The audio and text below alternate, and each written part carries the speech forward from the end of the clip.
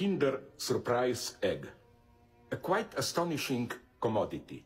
The surprise of the Kinder Surprise Egg is that this excessive object, the cause of your desire, is here materialized in the guise of an object, a plastic toy, which fills in the inner void of the chocolate egg.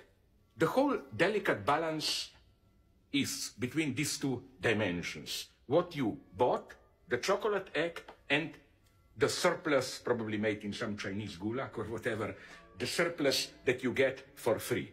I don't think that the chocolate frame is here just to send you on a deeper voyage towards the inner treasure, the what Plato calls the agalma, which makes you worthy person, which makes a commodity